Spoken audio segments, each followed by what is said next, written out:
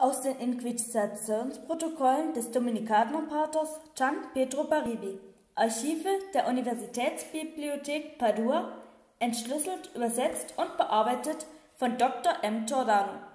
25. Juni 1542. Ermittele immer noch im Kloster S im Fall der jungen Elisabetta, die laut Auskunft ihres eigenen Vaters das Kind eines Dämons austrägt. Ich hielt mich in meinem Bericht gegenüber dem Leiter der Kongregation nicht mit meiner Vermutung zurück, dass M zu, wohlwollend ausgedrückt, religiösen Verklärungen neigt und dazu, sich von Gott, unserem Herrn, berufen zu fühlen, das Böse dieser Welt auszurotten. Offensichtlich will er seine Tochter lieber der Hexerei bezichtigen, als zu akzeptieren, dass sie nicht seinen Vorstellungen von Sittsamkeit entspricht. Seine guten Beziehungen zu RM erwähnte ich ja bereits umseitig, sein Einfluss in dieser Region ist erheblich, weshalb wir den Fall noch nicht als abgeschlossen betrachten dürfen. Die Vernehmung der Zeugen war der reinste Hohn. Zwei junge Mitschülerinnen Elisabethas bestätigten die Aussage des Kontes vom Auftauchen eines Dämons im Garten des Klosters. Die kleine Sophia, die nicht wirklich glaubhaft erklären konnte, warum sie sich um Mitternacht rein zufällig in einem Gebüsch verborgen im Garten befand, beschrieb einen Riesen mit Hörnern, glühenden Augen und einem Pferdefuß, der Elisabetta kurioserweise ein Ständchen auf einer Violine brachte, bevor er sich in Unzucht an ihr verging. Die andere Zeugin, eine enge Freundin von Elisabetta, machte schon einen weitaus vernünftigeren Eindruck. Sie erzählte von einem gut gekleideten und sehr hochgewachsenen jungen Mann, der Elisabetta mit schönen Worten umgarne. Er würde aus dem Nichts erscheinen und könne sich dann wieder in Luft auflösen, was sie aber selber noch nicht beobachtet habe. Elisabetta ihrerseits vertraute mir an, dass der junge Mann, der die Klostermauern so geschickt überwunden hat, weder Hörner noch Pferdefuß besitze, sondern aus geachteter Familie stamme und dass sie sogar seinen Namen kenne. Ich freute mich schon, die Sache zu einem klärenden Abschluss bringen zu können, da fügte sie hinzu, dass sie aber leider keinen Kontakt zu ihm herstellen könnte, da er aus der Zukunft durch die Luft zu ihr geflogen sei. Genauer gesagt aus dem Jahr des Herrn 1723. Man möge sich meine Verzweiflung über den Geisteszustand der mich umgebenden Menschen vorstellen. Ich hoffe sehr, der Leiter der Kongregation beordert mich alsbald zurück nach Florenz, wo echte Fälle auf mich warten. Kapitel 8 Schimmernde Paradiesvögel, Blüten und Blätter in Blau- und Silbertönen rankten sich über das Brokatmieder, die Ärmel und der Rock waren aus schwerer, nachtblauer Seide, die bei jedem Schritt raschelte und rauschte wie das Meer an einem stürmischen Tag. Mir war klar, dass Seda in diesem Kleid wie eine Prinzessin ausgesehen hätte. Trotzdem war ich von meinem eigenen Anblick im Spiegel überwältigt. Es ist Unfassbar schön, flüsterte ich ehrfürchtig. Xemerio schnaubte. Er saß auf einem Restbrokat neben der Nähmaschine und puppelte in der Nase. Mädchen, sagte er, erst sträuben sie sich mit Händen und Füßen gegen diesen Ball und kaum haben sie so einen ollen Fummel an, machen sie sich vor Aufregung fast ins Röckchen. Ich ignorierte ihn und drehte mich zu der Schöpferin dieses Meisterstücks um. Aber das andere Kleid war doch auch perfekt, Madame Rossini. Ja, ich weiß. Sie schmunzelte. Wir können es einfach ein anderes Mal nehmen. Madame Rossini, Sie sind eine Künstlerin, sagte ich mit Inbrunst. N'est-ce pas? Sie zwinkerte mir zu. Und als Künstler darf man sich die Dinge auch wieder anders überlegen. Zu der weißen Perücke schien mir das andere Kleid insgesamt zu blass zu sein. Ein Ton, der deiner verlangt nach starken, Comet Kontrasten. Ach richtig, die Perücke. Ich seufzte. Die wird alles wieder kaputt machen. Können Sie bitte schnell noch ein Foto schießen? Bijou. Madame Rossini verfrachtete mich auf einen Hocker vor der Frisierkommode und griff nach meinem Handy, das ich ihr hinhielt. Ximerius faltete seine Flügel auseinander flatterte zu mir herüber und legte eine etwas verunglückte Landung direkt vor dem Porzellankopf mit der Perücke hin. Du weißt schon, was sich normalerweise alles in so einem Haarteil herumtreibt, oder? Er legte den Kopf in den Nacken und sah einen puderweißen Turm hoch. Filzläuse, ganz sicher. Motten vermutlich. Eventuell auch Schlimmeres. Er erhob theatralisch die Pfoten. Ich sag nur Tarantula. Ich vermiss mir den Kommentar des Urban Legends nun wirklich ein alter Hut war und gähnte demonstrativ. Ximerius stemmte die Krallen in die Seiten. Ist doch wahr, sagte er. Du solltest dich nicht nur vor Spinnen in Acht nehmen, sondern auch vor gewissen Grafen, falls dir das in deinem Kostümrausch gerade entgegangen sein sollte. Da hätte er leider recht. Aber heute, frisch genesen und zugleich von den Männern Wächtern für balltauglich erklärt, wollte ich nur noch eins, positiv denken. Und wo konnte einem das leichter fallen als in Madame Rossinis Atelier? Ich warf Ximerius einen strengen Blick zu und ließ meine Blicke über die vollgehängten Kleiderstangen wandern. Ein Kleid war schöner als das andere. Sie haben nicht zufällig was in Grün? fragte ich sehnsüchtig. Ich musste an Cynthias Party denken und an die Kostüme, die Leslie für unsere Marsmenschengewandung vorschwebten. Wir brauchen nur grüne Müllsäcke, ein paar Pfeifenputzer, leere Konservenbüchsen und ein paar Styroporkugeln, hatte sie gesagt. Mit Tacker und Heißklebepistole verwandeln wir uns im Handumdrehen in coole Vintage-Mausmenschen. Sozusagen lebende moderne Kunstwerke. Und es kostet keinen Penny. Grün? Maisui, sagte Madame Rossini. Als alle noch dachten, dass der rothaarige Ungeacken in der Zeit reisen würde, habe ich viele Grüntöne verwendet. Das harmoniert perfekt zu roten Aaren und natürlich auch zu den grünen Augen vom kleinen Rebell. Oh oh, sagte Ximerius und drohte ihr mit einer Kralle, gefährliches Sperrgebiet, teuerste. Womit er richtig lag. Der kleine Mistkerl Rebell gehörte nämlich definitiv nicht auf die Liste von positiven Dingen, an die ich denken wollte. Aber wenn Gideon wirklich mit Charlotte auf dieser Party aufkreuzte, würde ich dort ganz sicher nicht im Müllsack rumstehen. Da konnte Leslie über Coolness und moderne Kunst sagen, was sie wollte. Madame Rossini bürstete meine langen Haare und fasste sie auf dem Scheitel mit einem Zopfgummi zusammen. Heute Abend wird er übrigens auch grün tagen. Ein dunkles Meergrün. Ich habe Stunden über der Stoffauswahl gebrütet, damit sich eure Farben nicht beißen. Am Ende habe ich alles nochmal bei Kerzenlicht überprüft. Absolut Mensch, onirique. Ihr werdet zusammen aussehen wie der Meerkönig und die Meerkönigin. Absolument, Grete Xomerius. Und wenn ihr nicht gestorben seid, bekommt ihr zusammen viele kleine Meerprinzen und Prinzesschen. Ich seufzte. Sollte er nicht zu Hause sein und weiter auf Charlotte aufpassen? Aber er hatte sich nicht nehmen lassen, mich nach Tempel zu begleiten, was irgendwie auch wieder süß war. Ximerius wusste genau, dass ich mich vor dem Ball fürchtete, während Madame Rossini die Haare in drei Strähnen teilte und zu einem Zopf flocht, den sie mit Haarnadel zu einem Knoten fixierte, runzelte sie konzentriert die Stirn. Grün sagst du? Mal überlegen. Da hätten wir zum Beispiel ein Reitkostüm für das späte 18. Jahrhundert aus grünem Samt. Außerdem, oh, das ist mir super gelungen.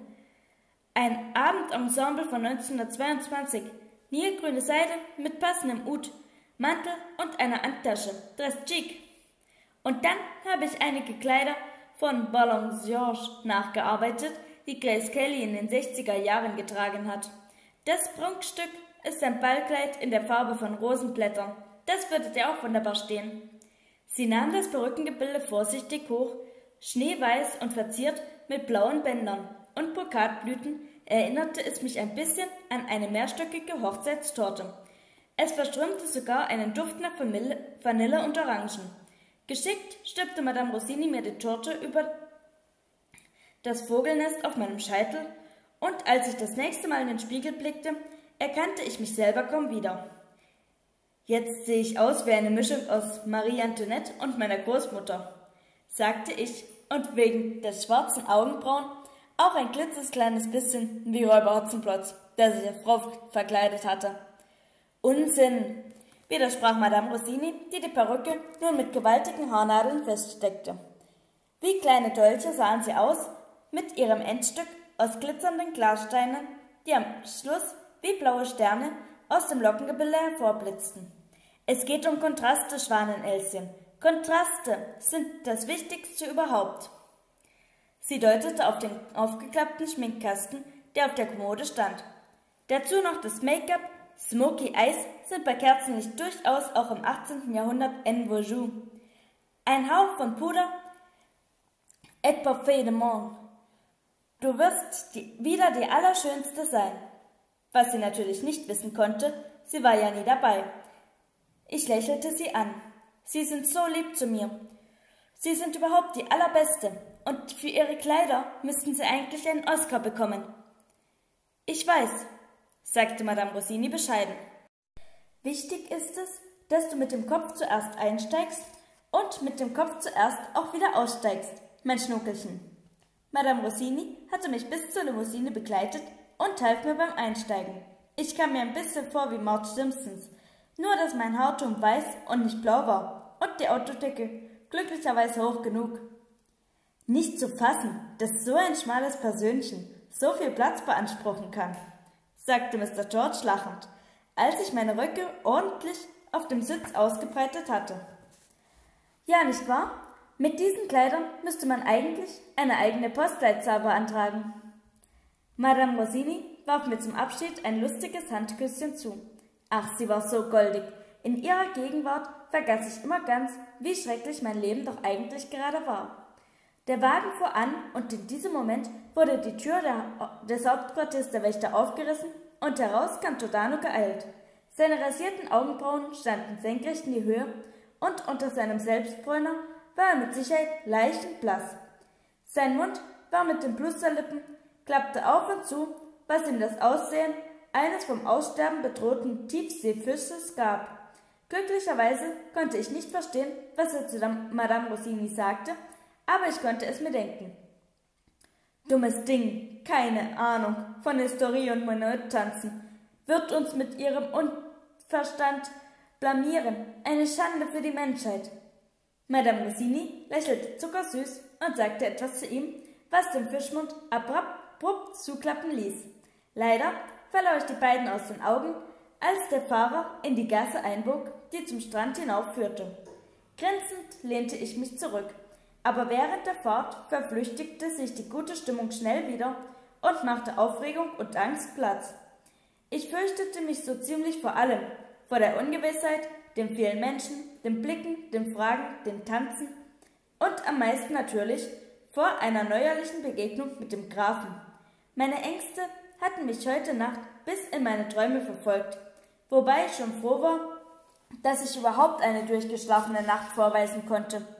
Kurz vor dem Aufwachen hatte ich besonders wirres Zeug geträumt, was über meine eigenen Röcke gestolpert und eine riesige Treppe hinabgepurzelt, direkt vor die Füße des Grafen von Saint-Germain, der mir, ohne mich zu berühren, aufgeholfen hatte, indem er mich an meiner Kehle hochhob.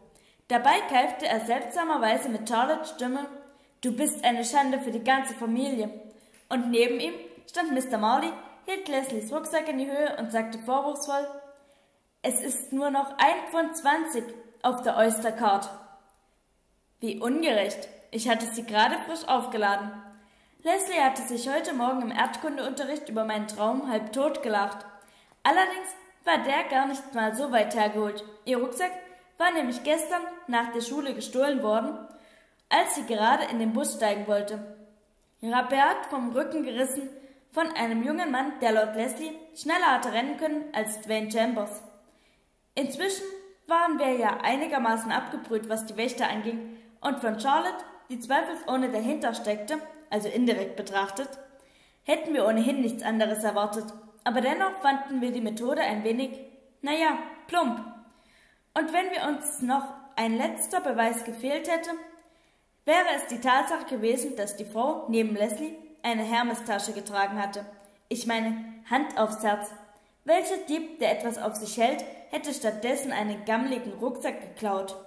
Laut Xemerius hatte Charlotte, kaum dass ich gestern das Haus verlassen hatte, mein Zimmer nach dem Chronographen durchkämmt und dabei nichts ausgelassen. Sogar unterm Kopfkissen, welches originelles Versteck, hatte sie geschaut.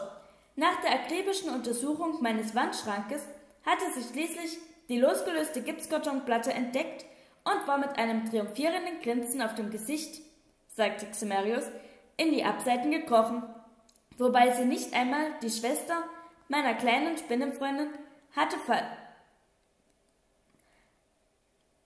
meiner kleinen Spinnenfreundin hatte schrecken können, sagte Ximerius. Sie zeigte auch keinerlei falsche Scheu, tief in die Eingeweide des Krokodils zu greifen. Tja, hätte sie das mal einen Tag früher gemacht. Aber wer zu spät kommt, dem bestraft das Leben, sagte Lady Arista immer. Nachdem Charlotte frustriert aus dem Wandschrank gekrabbelt war, hatte sie Leslie ins Visier genommen, was diese wiederum ihren Rucksack gekostet hatte. Nun waren die Wächter im Besitz einer frisch aufgeladenen Oystercard, eines Mäppchens, eines Lipgloss in der Farbnuance Cherry sowie von ein paar Bibliotheksbüchern über die Ausdehnung des östlichen Ganges-Deltas, mehr aber auch nicht. Dieser Niederlage konnte nicht mal Charlotte hinter ihrer üblichen hochmütigen Miene verbergen, mit der sie heute Morgen am Frühstückstisch erschienen war. Lady Arista hingegen hatte wenigstens die Größe, ihren Fehler zuzugeben. Die Truhe ist wieder auf dem Weg zu uns, erklärte sie kühl. Charlottes Nerven sind offensichtlich ein wenig überreizt, und ich muss zugeben, dass ich ihren Ausführungen irrtümlich Glauben geschenkt habe. Und jetzt sollten wir die Angelegenheit als erledigt betrachten und uns anderen Themen zuwenden. Das war, jedenfalls für Lady Aristas Verhältnisse, eine richtige Entschuldigung. Während Charlotte bei diesen Worten angestrengt auf ihren Teller starrte, tauschten wir anderen verdutzte Blicke und wendeten uns dann gehorsam dem einzig anderen Thema zu, das uns auf die Schnelle einfiel, dem Wetter. Nur Tante Glenda, deren Hals hektische rote Flecke aufwies, wollte das nicht auf Charlotte sitzen lassen. Man sollte ihr doch wohl eher dankbar sein, dass sie sich immer noch verantwortlich fühlt und ein wachsames Auge hat, anstatt ihr Vorwürfe zu machen. Konnte sie sich nicht verkneifen, einzuwerfen. Wie heißt es so schön? Undank ist der Weltenlohn. Ich bin überzeugt, dass... Aber wir erfuhren nie, wovon Tante Glenda überzeugt war, denn Lady Arista sagte mit eisiger Stimme, wenn du das Thema nicht wechseln möchtest, steht es dir selbstverständlich frei, den Tisch zu verlassen, Glenda. Was Tante Glenda dann auch tat, zusammen mit Charlotte, die behauptete, keinen Hunger mehr zu haben. Alles in Ordnung? Mr. George, der mir gegenüber saß, wie mir schräg gegenüber, meine Röcke waren so ausladend, dass sie den halben Wagen ausfüllten, und mich bisher meinen Gedanken überlassen hatte, lächelte mir zu. Hat Dr. White dir etwas gegen das Lampenfieber gegeben? Ich schüttelte den Kopf. Nein, sagte ich. Ich hatte zu viel Angst, im 18. Jahrhundert doppelt zu sehen. Oder Schlimmeres, aber das verschwieg ich Mr. George lieber. Auf der Soiree am letzten Sonntag hatte ich nur mit Hilfe von Lady Bromptons Spezialpunsch Ruhe bewahren können. Und es war eben dieser Punsch gewesen, der mich dazu gebracht hatte, vor lauter staunenden Gästen Memory aus Cats vorzutragen. Schlappe 200 Jahre, bevor Andrew Lloyd Webber es überhaupt komponiert hatte. Außerdem hatte ich mich vor allen Leuten laut mit einem Geist unterhalten, was mir nüchtern ganz bestimmt nicht passiert wäre. Ich hatte gehofft, wenigstens ein paar Minuten mit Dr. White allein sein zu können, um ihn zu fragen, warum er mir geholfen hatte. Aber er hatte mich nur im Beisein von Fogg de Villiers untersucht und zu aller Freude für genesen erklärt. Als ich ihm zum Abschied verschwörerisch zugezwinkert hatte, runzelte Dr. White lediglich die Stirn und fragte, ob ich etwas im Auge habe. Bei der Erinnerung daran seufzte ich. Mach dir keine Sorgen, sagte Mr. George mitleidig. Es dauert ja nicht lange, dann bist du schon wieder zurück. Noch vor dem Abendessen hast du alles überstanden. Aber bis dahin kann ich eine Menge falsch machen, wenn nicht sogar eine weltweite Krise auslösen. Fragen Sie mal Giordano. Ein falsches Lächeln eine falsche Referenz, die falsche Kommunikation und puff, das 18. Jahrhundert steht in Brand. Mr. George lachte. Ach, Giordano ist doch nur neidisch. Für eine Zeitreise würde er einen Mord begehen. Ich strich mir mit meinen Händen über die weiche Seide meines Rockes und fuhr mit den Fingern die gestickten Linien nach. Im Ernst, ich verstehe immer noch nicht, warum der Ball so wichtig ist und was ich da eigentlich zu suchen habe. Du meinst, außer zu tanzen und dich zu amüsieren und das Privileg zu genießen, die berühmte Herzogin von Devonshire mit eigenen Augen sehen zu dürfen? Als ich nicht zurücklächelte, wurde Mr. George unvermittelt ernst, nahm ein Taschentuch aus seiner Brusttasche und tupfte sich damit über die Stirn. Ach, mein Mädchen, dieser Tag ist deshalb von äußerster Bedeutung, weil sich auf eben diesem Ball herausstellen soll, wer in den Reihen der Wächter der Verräter ist, der die Informationen an die Florentinische Allianz weitergeleitet hat. Durch eure Anwesenheit hofft der Graf, sowohl Lord Alistair als auch den Vertreter aus der Reserve zu locken. Aha, das war zumindest ein bisschen spezifischer als in Anna Karenina. Genau genommen sind wir also Lockvögel. Ich runzelte meine Stirn. Aber, ähm, müssten Sie nicht längst wissen, ob der Plan funktioniert hat? Und wer der Verräter nun ist? Das ist doch alles bereits vor 230 Jahren passiert. Ja und nein, erwiderte Mr. George. Aus irgendeinem Grund sind die Berichte in den Annalen in diesen Tagen und Wochen äußerst verschwommen. Zudem fehlt ein ganzer Teil. Es ist zwar mehrmals von dem Verräter die Rede, der, hohes, der seines hohen Amtes entbunden wurde, aber sein Name wird nicht erwähnt. Vier Wochen später heißt es lapidau in einem Nebensatz, dass niemand dem Verräter die letzte Ehre erwiesen habe. Denn Ehre habe er nun einmal nicht verdient. Ich bekam wieder eine Gänsehaut. Vier Wochen nach seinem Rausschmiss aus der Loge war der Verräter tot? Wie, äh, praktisch. Mr. George hörte mir nicht mehr zu. Er klopfte an die Fenster zum Fahrer. Ich fürchte, das Tor ist zu eng für die Limousine. Fahren Sie lieber vor der Seite auf den Schulhof. Er lächelte mich an. Wir sind da. Du siehst übrigens wunderschön aus. Das wollte ich dir die ganze Zeit schon sagen. Wie aus einem alten Gemälde entsprungen. Der Wagen bremste direkt vor der Treppe zum Eingang. Nur viel, viel schöner, sagte Mr. George. Danke. Vor lauter Verlegenheit vergaß ich ganz, was Madame Rossini gesagt hatte, immer mit dem Kopf zuerst schnuckelchen, und machte den Fehler, auf die gleiche Weise aus dem Auto zu steigen, wie sonst auch immer, mit dem Ergebnis, dass ich mich hoffnungslos in meinen Rücken verhedderte und mich fühlte wie die Binemaya in Tegler Spinnennetz. Während ich fluchte und Mr. George hilflos kicherte, reichte man mir von draußen gleich zwei hilfreiche Hände, und weil mir nichts anderes übrig blieb, ergriff ich beide und ließ mich hinaus auf die Füße ziehen. Die eine Hand gehörte Gideon, die andere Mr. Whitman, und ich ließ sie alle beide los, als hätte ich mich verbrannt. Ähm, danke, murmelte ich, strich hastig das Kleid glatt und versuchte, meinen rasenden Puls zu beruhigen. Dann sah ich mir Gideon genauer an und grinste. Ich konnte einfach nicht anders. Auch wenn Madame Rossini nicht umsonst von der Schönheit des meergrünen Stoffes geschwärmt hatte und der prächtige Rock Gideons breite Schultern in faltenfreier Perfektion umschloss und der bis hinab zu den Schnallenschuhen eine wirklich blendende Figur abgab, machte die weiße Perücke das alles wieder zunichte. Und ich dachte schon, ich wäre die Einzige, die sich doof vorkommen muss, sagte ich. Seine Augen funkelten amüsiert. Immerhin kenne ich, konnte ich Giordano überreden, Puder und Schönheitsflästerchen wegzulassen. Nun, er war auch so, so schon blass genug. Für eine Sekunde oder so verlor ich mich im Anblick der fein gezeichneten Linien seines Kinns und der Lippen, dann riss ich mich wieder zusammen und guckte ihn möglichst finster an. Die anderen warten unten. Wir beeilen uns besser, bevor es hier einen Menschenauflauf gibt sagte Mr. Whitman und warf einen Blick hinüber zum Bürgersteig, wo zwei Damen mit Hunden stehen geblieben waren und neugierig zu uns hinüberschauten. Wenn sie kein Aufsehen erregen wollten, dann sollten die Wächter vielleicht unauffälligere Autos fahren und natürlich nicht andauernd seltsam kostümierte Menschen durch die Gegend kutschieren. Gideon streckte seine Hand aus, doch in dem Moment ertönte von hinten ein dumpfer Laut und ich sah mich um Ximeris war auf dem Autodach gelandet und lag für einen Moment platt wie eine Flunder auf dem Blech. Menno, keuchte er, hättet ihr nicht auf mich warten können?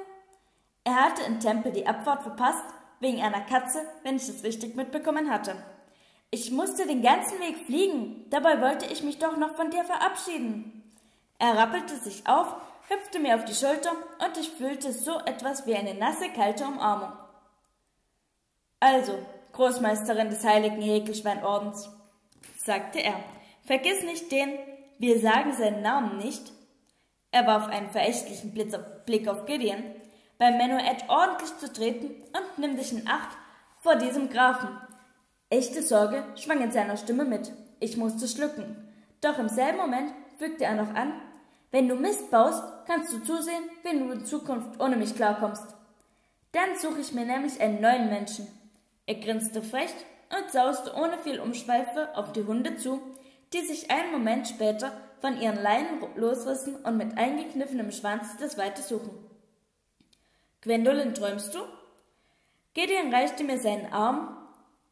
Ich meine natürlich Miss Gray. Wenn Sie mir bitte ins Jahr 1782 folgen wollen? Vergiss es. Mit der Schauspielerei fange ich erst an, wenn wir da sind, sagte ich leise, damit Mr. George und Mr. Whitman es nicht hören konnten. Vorher würde ich den Körperkontakt zu dir gern so minimal wie möglich halten, wenn du nichts dagegen hast. Außerdem kenne ich mich hier aus, das ist schließlich meine Schule.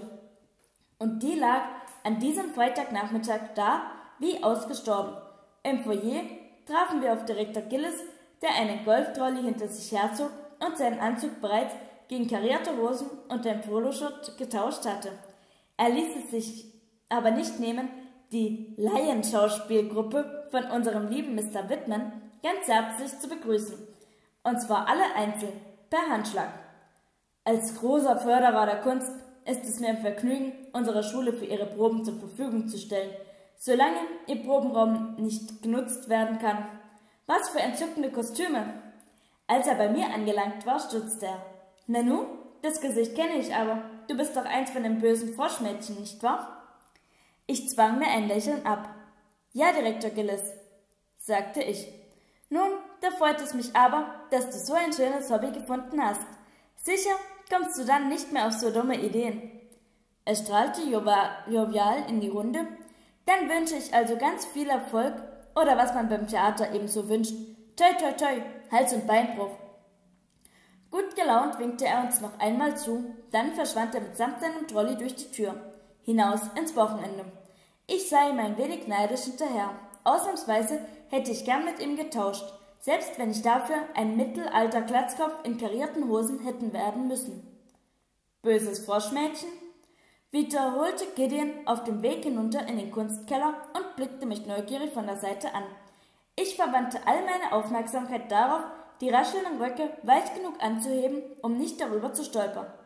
Meine Freundin Leslie und ich waren vor ein paar Jahren gezwungen, einen überfahrenen Frosch in die Suppe einer Mitschülerin zu legen. Das nimmt uns Direktor Gillis leider immer noch übel. Ihr wart gezwungen, einen Frosch in die Suppe einer Mitschülerin zu legen? Ja, erwiderte ich und bedachte ihn mit einem hochnäsigen Blick. Aus pädagogischen Gründen muss man manchmal Dinge tun, die auf Außenstehende befremdlich wirken. Im Keller, gleich unter einem an der Wand gepinselten Zitat von Edgar Degas, ein Bild muss mit demselben Gefühl gemacht werden, mit dem ein Verbrecher seine Tat ausführt, hatten sich bereits die üblichen Verdächtigen um den Chronographen versammelt folgt der Villiers, Mr. Marlin und Dr. White, der auf einem der Tische medizinische Bestecke und Verbandszeug ausbreitete.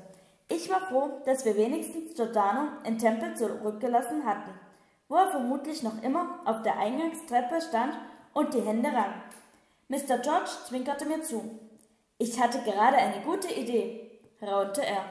Wenn du nicht mehr weiter weißt, wirst du einfach ohnmächtig. Die Frauen fielen damals laufend in Ohnmacht ob wegen der geschnürten Korsetts oder der schlechten Luft oder weil es einfach praktisch war, genau kann das niemand sagen. Ich werde es im Hinterkopf behalten, sagte ich und war versucht, Mr. George Tipp gleich mal auszuprobieren. Leider schien Gideon meine Absicht durch, zu, zu durchschauen, denn er nahm meinen Arm und lächelte leicht. Und dann hatte Fogg auch schon den Chronographen enthüllt, und als er mich zu sich winkte, fügte ich mich in mein Schicksal, nicht jedoch ohne ein Stoßgebet zum Himmel zu sticken, dass Lady Brompton das Geheimnis ihres Spezialpunsches an ihre gute Freundin, die ehrenwerte Lady Pimplebottom, weitergegeben hatte. Meine Vorstellungen von Bällen waren vage und von historischen Bällen geradezu nicht existent. Deswegen war es vermutlich kein Wunder, dass ich nach Tante Maddys Vision und meinen Träumen von heute Morgen ein Zwischending aus vom Winde verweht und den rauschenden Festen aus Marie Antoinette erwartete, wobei der schöne Teil meines Traums gewesen war, dass ich Kirsten Dunst verblüffend ähnlich gesehen hatte. Aber ehe ich meine Vorstellungen auf ihre Echtheit überprüfen konnte, mussten wir erst einmal aus dem Keller kommen. Mal wieder. Ich hoffte inständig, dass meine Waden nicht Langzeitschäden vom vielen Treppenlaufen davontrugen. Trotz aller Neugelei musste ich zugeben, dass die Wächter die Sache diesmal schlau eingefädelt hatten. Volk hatte den Chronographen so eingestellt, dass wir ankamen, als der Ball über uns schon seit Stunden im Gang waren. Ich war unendlich erleichtert, dass es so kein Vorbeidevelieren an den Gastgebern geben würde. Insgeheim hatte ich riesige Angst vor einem Zeremonienmeister gehabt, der mit einem Stab auf den Boden geklopft und mit lauter Stimme unsere falschen Namen verkündet hatte.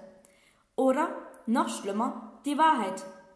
Ladies und Gentlemen, klopf, klopf, Gideon de Villiers und Gwendolyn Shepard, Hochstapler aus dem 21. Jahrhundert. Beachten Sie bitte, dass Korsett und Reifrock nicht etwa aus Fischbein, sondern aus Hightech-Kohlefasern bestehen. Die Herrschaften kamen übrigens durch den Keller ins Haus bei dem es sich diesmal um ein besonders dunkles Exemplar handelte, so dass ich leider gezwungen war, Gideons Hand zu nehmen, ansonsten hätte mein Kleid und ich es nicht heil nach oben geschafft. Erst im vorderen Teil des Kellers, dort, wo in meiner Schule der Gang zu den Medienräumen abzweigte, tauchten an den Wänden Fackeln auf, die auf flackerndes Licht über die Wände warfen. Augenscheinlich waren hier die Vorratskammern untergebracht was angesichts der Eiseskälte sicher sinnvoll war. Aus bloßer Neugier warf ich einen Blick in einen der angrenzenden Räume und blieb verblüfft stehen. So viel Essen hatte ich noch nie auf einmal gesehen. Offenbar sollte auf dem Ball eine Art Bankett folgen, denn auf Tischen und auf dem Fußboden standen unzählige Platten, Schüsseln und große Bottiche voll der merkwürdigsten Speisen. Vieles war ausgesprochen kunstvoll angerichtet und mit einer Art durchsichtigem Wackelpudding umhüllt. Ich entdeckte große Mengen vorbereiteter Fleischgerichte, die für meinen Geschmack definitiv zu streng rochen. Darüber hinaus atemberaubend viel Zuckerzeug in allen Formen und Größen und eine vergoldete Schwanenfigur, die verblüffend lebensecht gearbeitet war. Guck mal, die müssen ihre Tischdeko auch kühlen, flüsterte ich.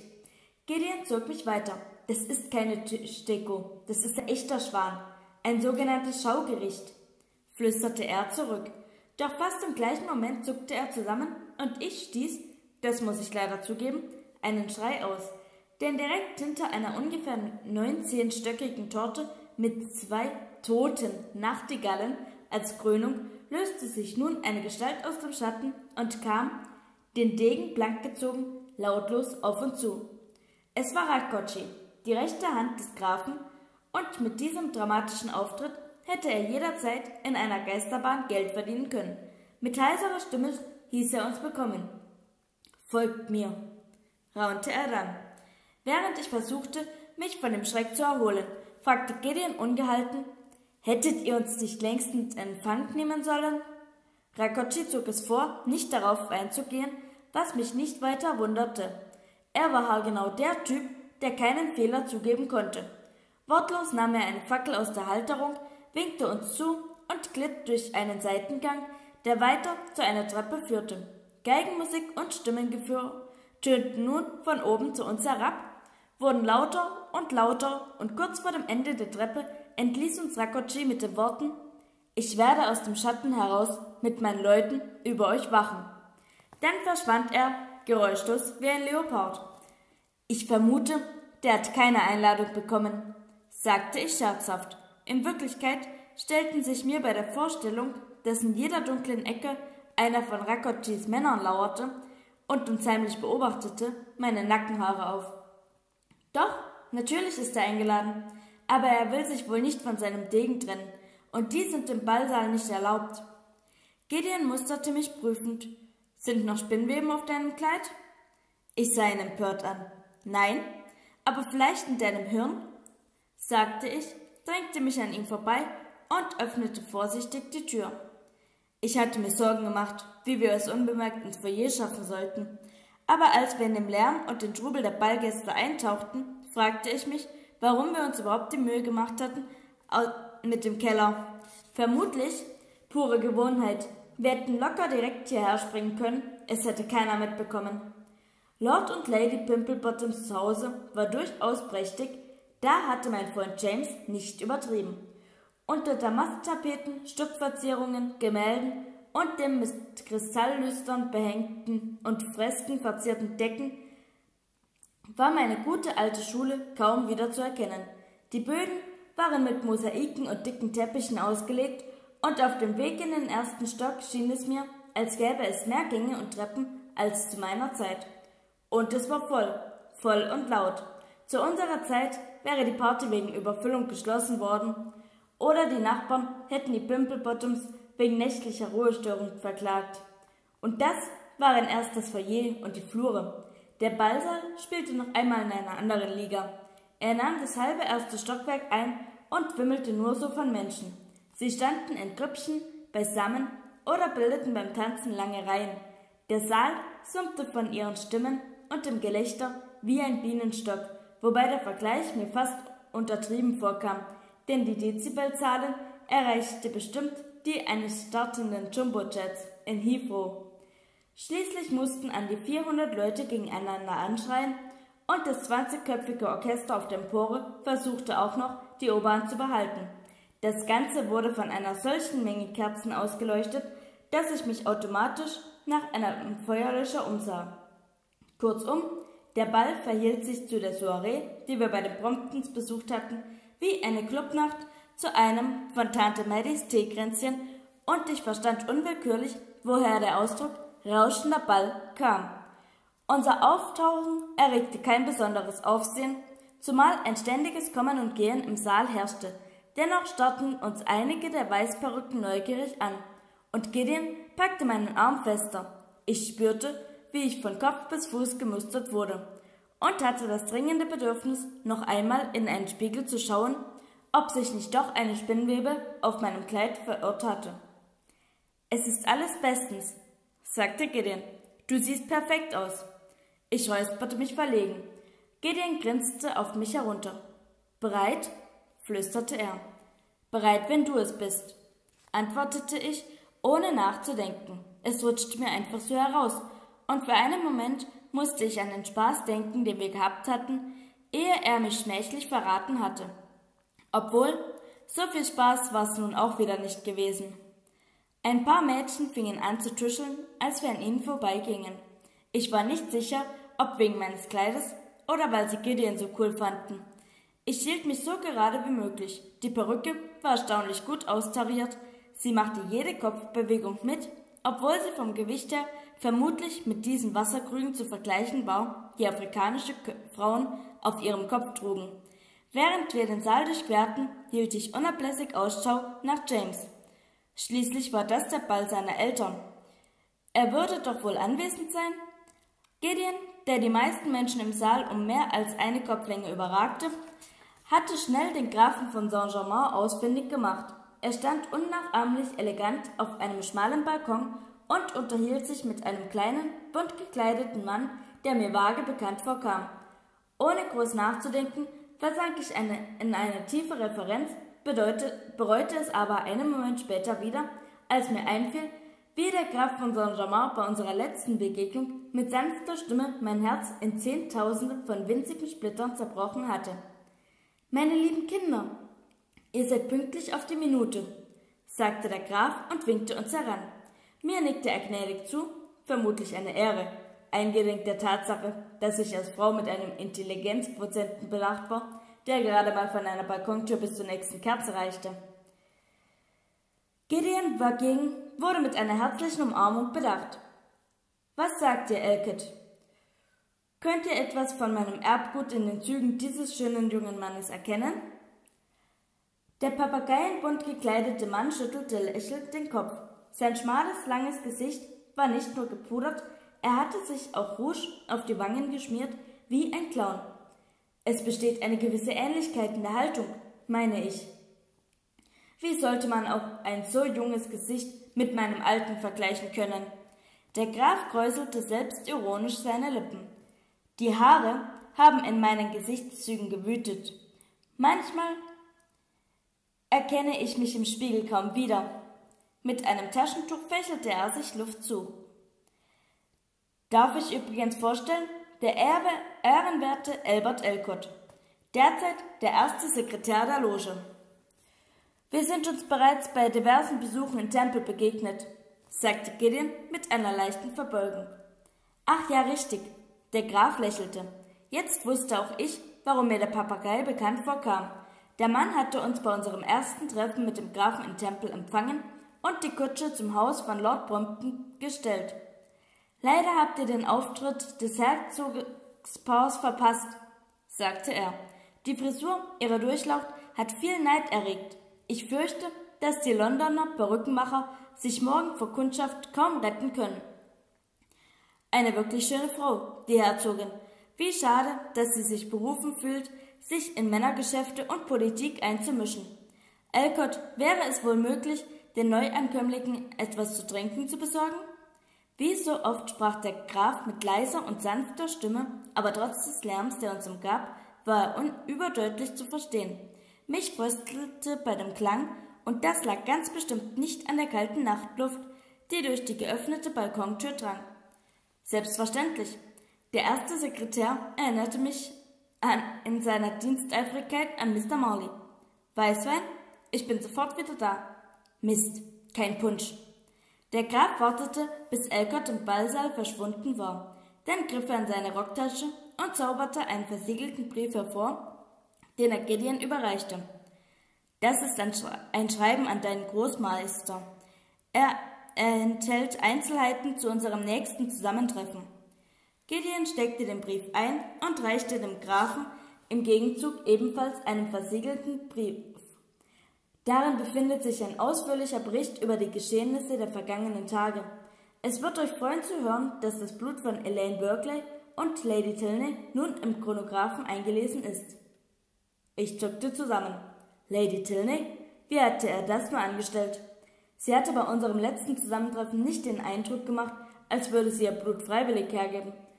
Misstrauisch blickte ich Gideon von der Seite an. Er würde ihr doch nicht etwa mit Gewaltblut abgezapft haben? In meinen Vorstellungen sah es sie verzweifelt mit Häkelschweinchen nach ihm werfen. Der Graf klopfte ihm auf die Schulter. Fehlen also nur noch Saphir und schwarzer Turmalin. Er stützte sich auf seinen Stock, aber in dieser Geste lag nichts Gebrechliches. Stattdessen wirkte er ungeheuer machtvoll. Oh, wenn er wüsste, wie nah wir dran sind, die Welt zu verändern. Mit dem Kopf wies er in den Ballsaal wo ich an der anderen Seite Lord Alistair von der Florentinischen Allianz erkannte, wie beim letzten Mal mit reichlich Schmuck behängt.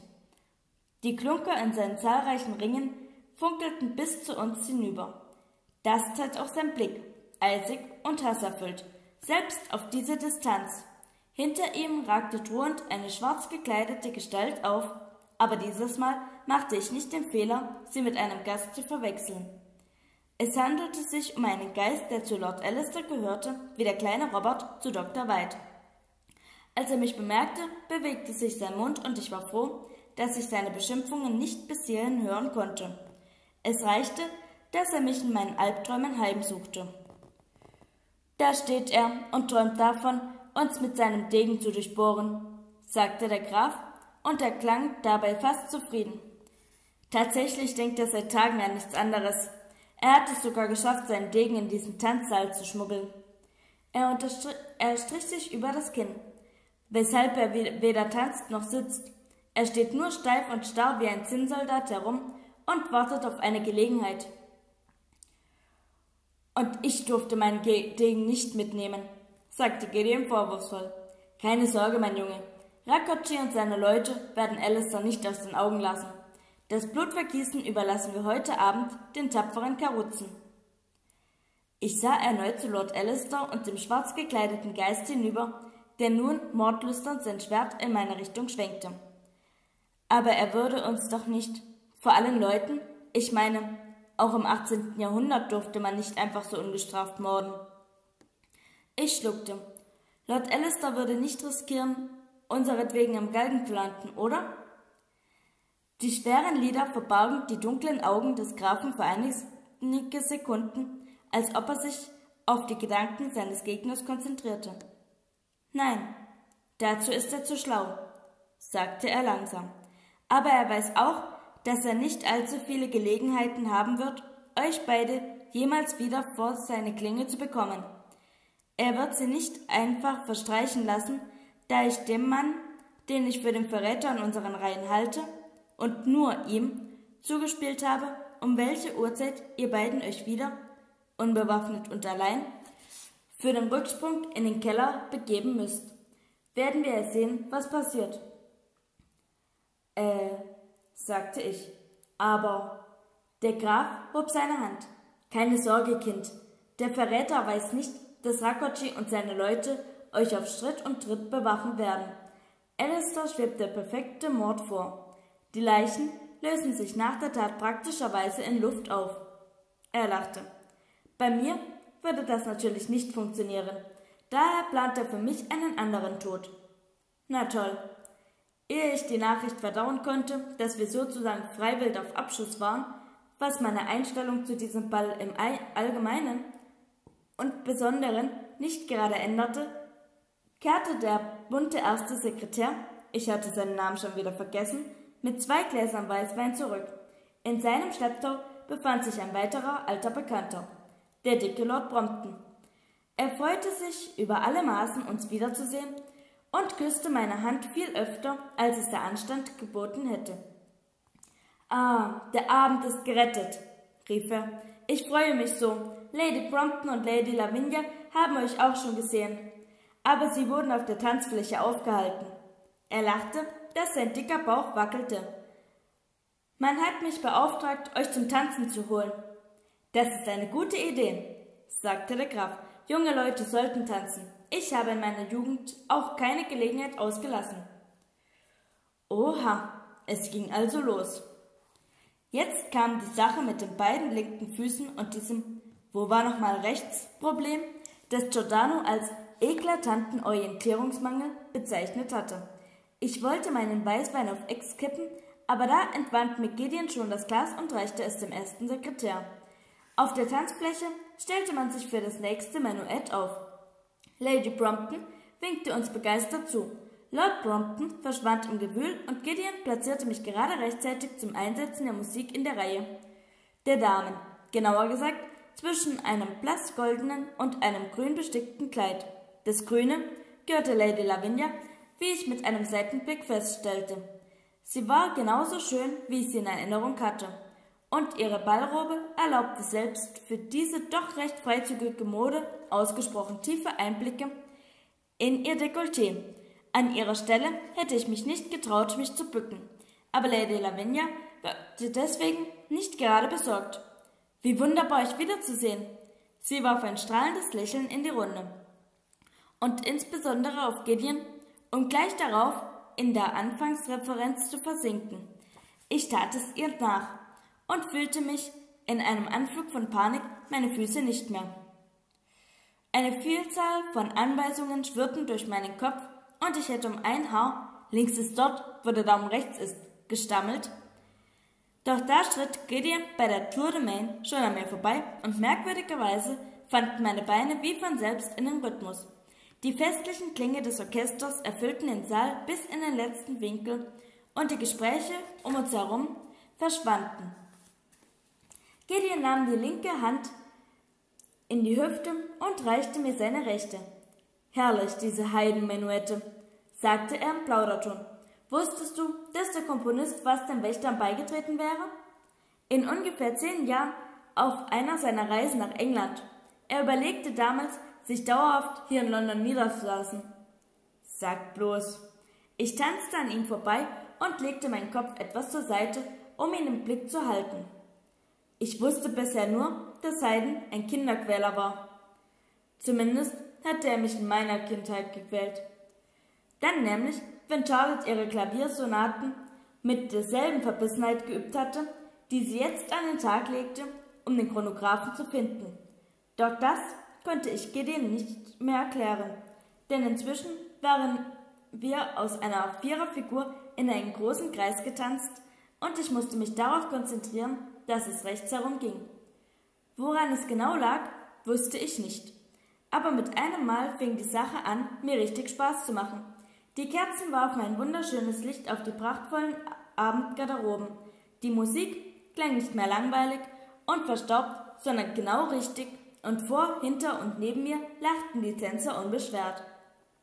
Selbst die Perücken sahen nicht mehr so affig aus, und ich fühlte mich für einen Moment ganz leicht und frei. Als sich der Kreis auflöste, schwebte ich auf Gideon zu, als hätte ich nie etwas anderes gemacht, und er blickte mir entgegen, als wären wir plötzlich allein im Saal. In meiner seltsamen Hochstimmung konnte ich nichts anderes tun, als ihn anzustrahlen, ohne Rücksicht auf Giordanos Mahnung, im 18. Jahrhundert niemals die Zähne zu zeigen. Aus irgendeinem Grund schien mein Lächeln Gideon völlig aus der Fassung zu bringen. Er nahm meine ausgestreckte Hand entgegen, aber anstatt nur seine Finger leicht unter meine zu legen, umklammerte er sie. Gwendolyn, ich lasse mir von niemandem mehr.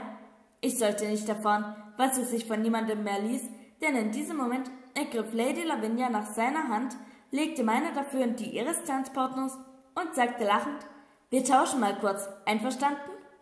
Nein, von einverstanden konnte von meiner Seite aus keine Rede sein, und auch Gideon zögerte einen Moment. Doch dann verneigte er sich vor Lady Lavinia und ließ mich, wie die nichtssagende kleine Ziehschwester, die ich im Grunde auch war, links liegen. Mein Hochgefühl verschwand genauso schnell, wie es aufgetaucht war. Ich habe euch vorhin schon von weitem bewundert, sagte mein neuer Tanzpartner, als ich aus meiner Referenz hervortauchte und ihm die Hand reichte. Am liebsten hätte ich sofort wieder losgelassen, denn seine Finger waren feucht und klebrig. Mein Freund, Mr. Major, hatte bereits das Vergnügen, euch auf Lady Bromptons Soiree kennenzulernen. Er wollte uns miteinander bekannt machen. Aber das kann ich ja nun selber übernehmen. Ich bin Lord Fleet. Der Lord Fleet. Ich lächelte höflich. Ein Freund von Busenkrabscher Mr. Major. Aha. Während die nächste Schrittfolge uns voneinander wegführte und ich hoffte, der Lord Fleet würde die Gelegenheit nutzen, sich die feuchten Hände am Hosenbein abzuwischen, sei ich hilfesuchend zu Gideon hinüber. Aber der schien ganz in den Anblick von Lady Lavinia versunken zu sein. Auch der Mann neben ihm hatte nur Augen für sie, beziehungsweise für ihr Dekolleté, während er seine eigene Partnerin geflissentlich übersah. Und der Mann daneben? Oh mein Gott, das war James, mein James. Endlich hatte ich ihn gefunden. Er tanzte mit einem Mädchen in einem pflaumenmusfarbenen Kleid und sah so lebendig aus, wie man mit einer weißen Perücke und weißem Puder im Gesicht eben aussehen kann. Anstatt Lord Fleet erneut meine Hand zu reichen, tanzte ich an Lady Lavinia und Gideon vorbei auf James zu.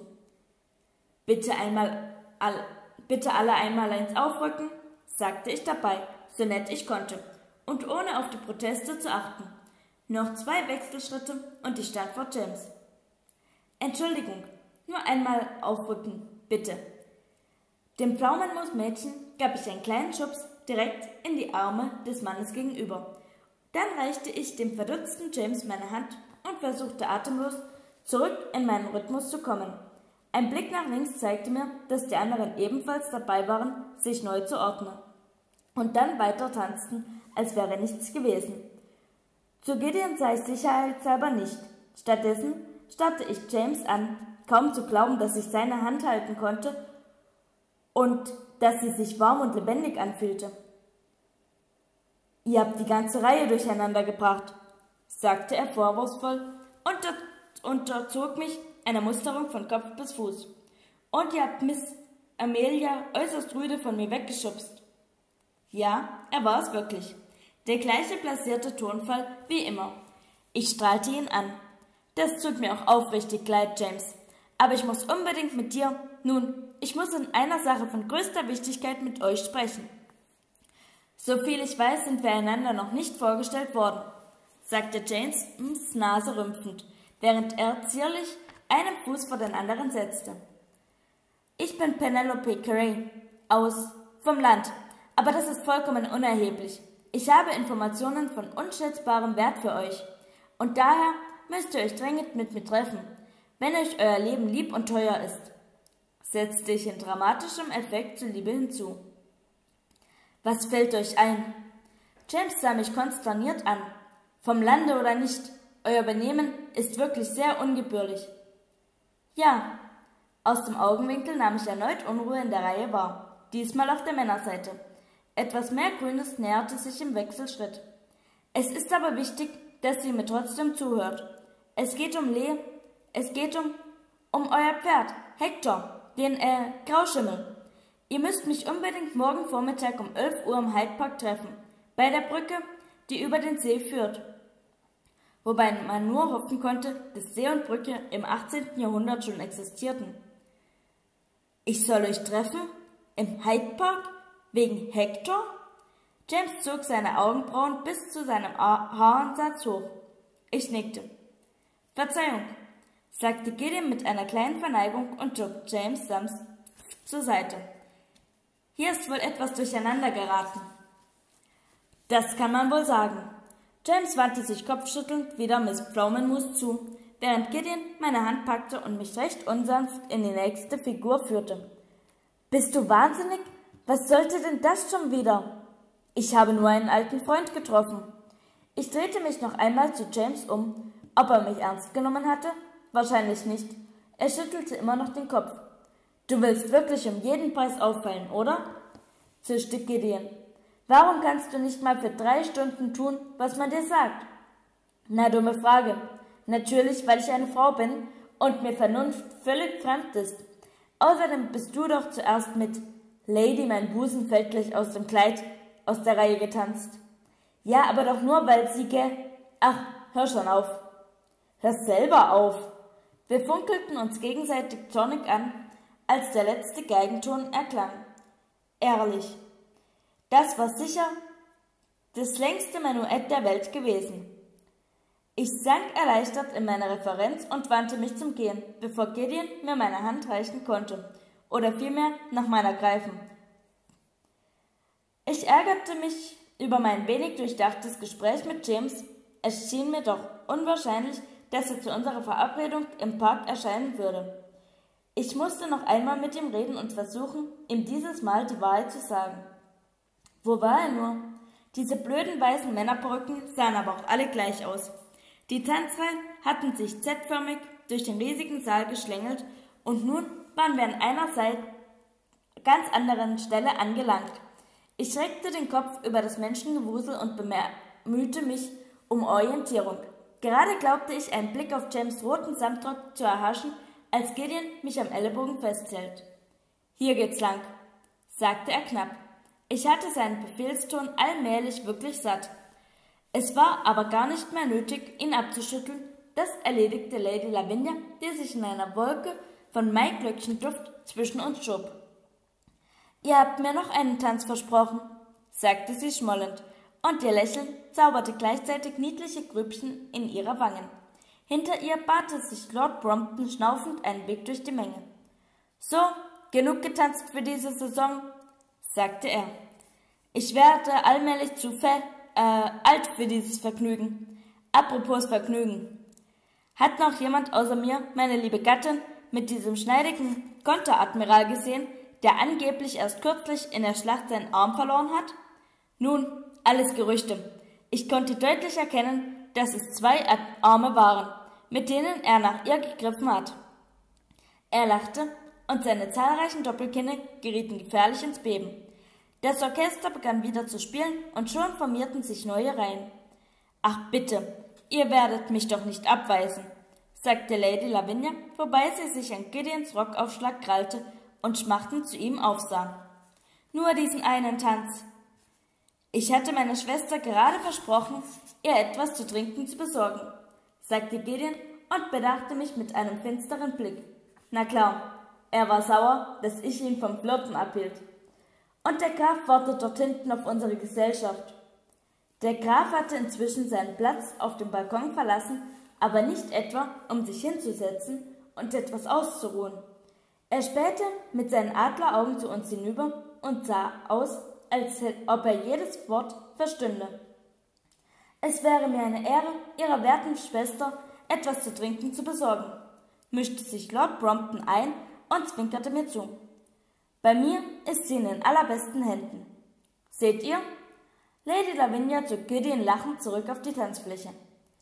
Ich bin gleich wieder da, versicherte er mir über seine Schulter hinweg. Nur keine Eile, knurrte ich. Lord Brompton setzte seine Fettmassen in Bewegung. Ich kenne da ein ganz besonderes Plätzchen, sagte er und winkte mir zu. Man nennt es auch den Winkel der alten Jungfern, aber das soll uns nicht weiter stören. Die werden wir schon mit unanständigen Geschichten vergraulen. Er führte mich ein paar Stufen auf eine kleine Empore hinauf, wo ein Sofa stand, von dessen erhöhter Lage man eine großartige Übersicht hatte. Hier saßen tatsächlich zwei nicht mehr ganz so junge und ganz so hübsche Damen, die bereitwillig ihre Röcke beiseite rafften, um mir Platz zu machen. Lord Brompton rieb sich die Hände. Gemütlich, nicht wahr? Ich werde mit dem Grafen und etwas zu trinken wiederkommen. Ich eile. Das tat er wirklich. Wie ein galoppierendes Flusspferd schob er seinen massigen Leib durch das Samt-, Seiden- und Brokatmeer. Ich nutzte meinen erhöhten Posten, um nach James Ausschau zu halten. Aber ich konnte ihn nirgendwo entdecken.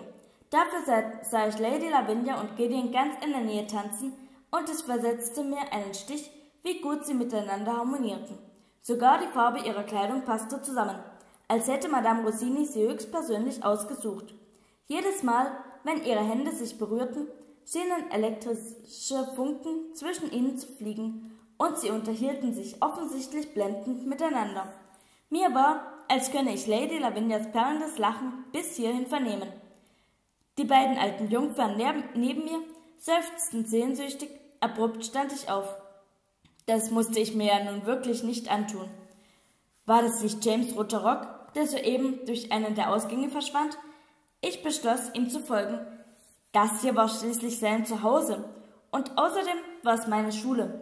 Ich würde ihn schon aufspüren. Und dann würde ich versuchen, die Sache mit Hector gerade zu rücken. Beim Verlassen des Saals warf ich noch einen prüfenden Blick auf Lord Alistair, der nach wie vor an der gleichen Stelle stand und den Grafen nicht aus den Augen ließ.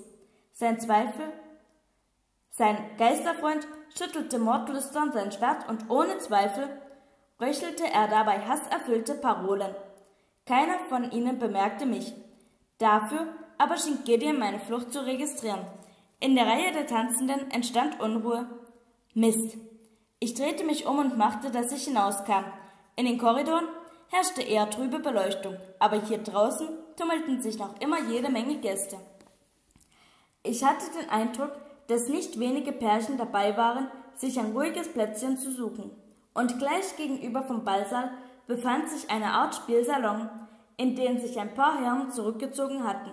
Zigarrenqualm drang durch die halboffene Tür.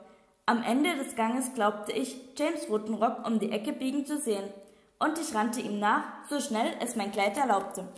Als ich den nächsten Gang erreichte, war keine Spur mehr von ihm zu entdecken, was bedeutete, dass er in einem der Zimmer verschwunden sein musste.